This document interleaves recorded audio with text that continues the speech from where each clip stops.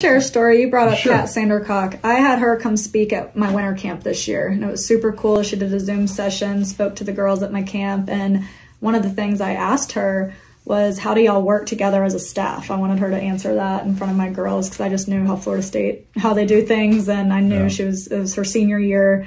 Um, and hearing her perspective on the pitching staff and how they work together and how they uplift each other and how they have the same routines and they focus on the mental game together. I mean, they love each other and they are so supportive of one another. And I don't see that enough in the travel ball world. It's this pitcher's number one and I'm number two. And they might be buddies, but they're not like that soul sisters that I saw of Kat speaking to our girls.